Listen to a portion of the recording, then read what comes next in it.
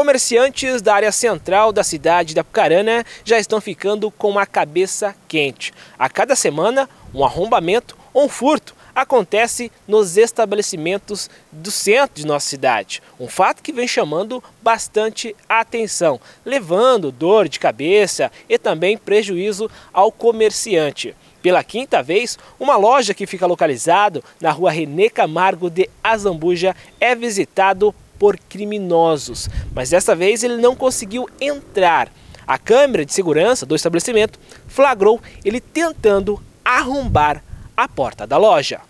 O criminoso foi flagrado por câmeras de segurança em uma tentativa de arrombamento na loja de roupas femininas, localizada na rua René Camargo de Azambuja, bem no coração de Apucarana.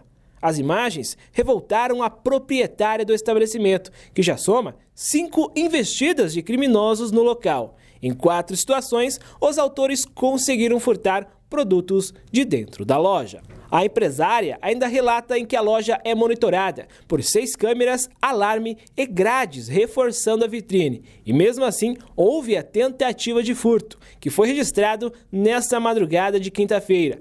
Segundo ela, um outro estabelecimento localizado nas proximidades também foi alvo de criminosos e é a mesma pessoa que é. Ainda, segundo ela, um outro estabelecimento localizado nas proximidades foi arrombado e levado dois celulares. A suspeita é que pode ter sido a mesma pessoa. 38